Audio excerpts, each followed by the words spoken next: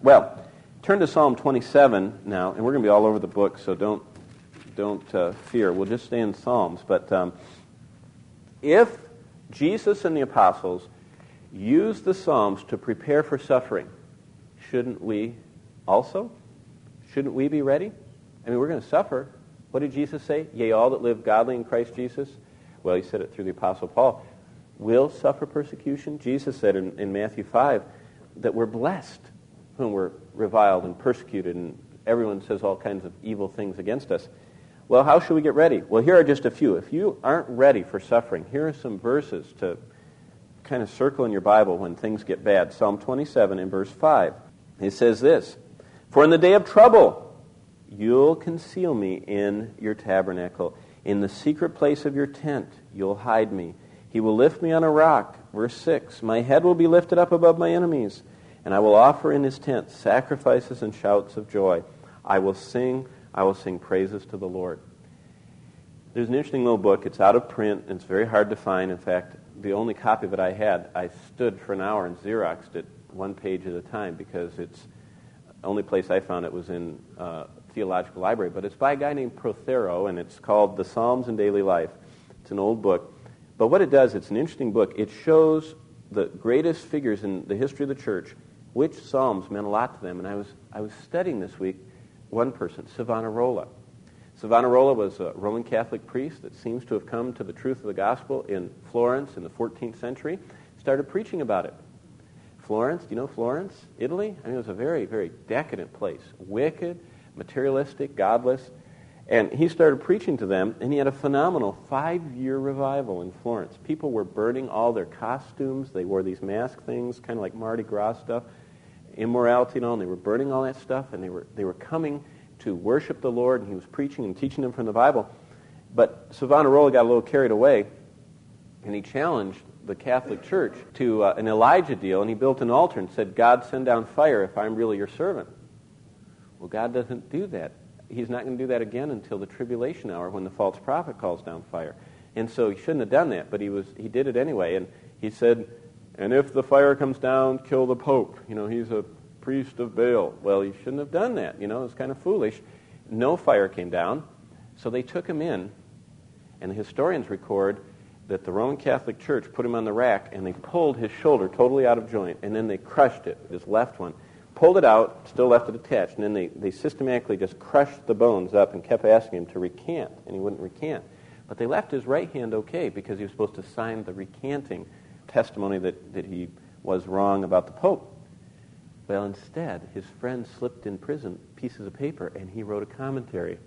And, and look at um, chapter 27, verse 5. For in the day of trouble, pull, crunch, crunch, crunch, crunch, crunch, crunch. Day of trouble, you got the idea? It's troublesome. For in the day of trouble, he will conceal me in his tabernacle. And what the, the people that witnessed his death, by the way, after they pulled, crunch, crunch, crunched him and let him suffer for that for a while, they tied him to stake and slowly burned him to death. They said they used green wood so he would burn to death slowly. But they said there was a marvelous peace about him. And it said he never broke his peace, never cussed and swore and spit at them and yelled and, you know, grit his teeth together. He just died joyfully. Well, what do you think was happening? Well, this is what he was writing about. He wrote a little bit about these verses, and he says, The Lord will conceal me in his tabernacle. In the secret place of his tent, he'll hide me. My head will be lifted up above my enemies. He didn't get off the stake. They didn't put his arm back in joint or set it. But I will offer in his tent sacrifices with shouts of joy. I will sing, I will, yes, I will sing praises to the Lord. Now, I doubt if any of you are going to get the pull, chump, chump, chump deal anytime soon. Me neither. But you know what? You might get into a situation where you're falsely accused or where you're mistreated or you don't get the promotion or whatever happens or in school, you know, they, they make fun of you. And just think about Psalm 27.5 when you're in trouble about coming into the tent. The Lord has a tent ready. You can just go in there and sing and rejoice and worship Him, and He'll take you through it. That's one good verse to remember. Here's another one. Look at 31 and verse 2. Here's another one that's been a perennial source of comfort for God's servants through the years. Incline your ear to me, rescue me quickly. Be thou to me a rock of strength, a stronghold to save me. Verse 3 You're my rock, you're my fortress. For thy name's sake thou wilt lead and guide me. You will pull me out of the net, verse 4, which they have secretly laid for me. Thou art my strength. And then what Christ said, Into thy hand I commit my spirit. See how he was all ready for the day of trouble? I'm sure that these words were on Christ's heart as they spread the net for him, as they falsely accused him and tried to. Of course, he was God, so they never did trap him, but he had the comfort. Keep turning to 3723. More scriptures to prepare yourself. The day of trouble is coming, and I can promise you, young or old, you know, talkative or not, the day of trouble is coming for all of us. It's hard to live godly in Christ Jesus. The scriptures promise us. 1 Thessalonians 3 4.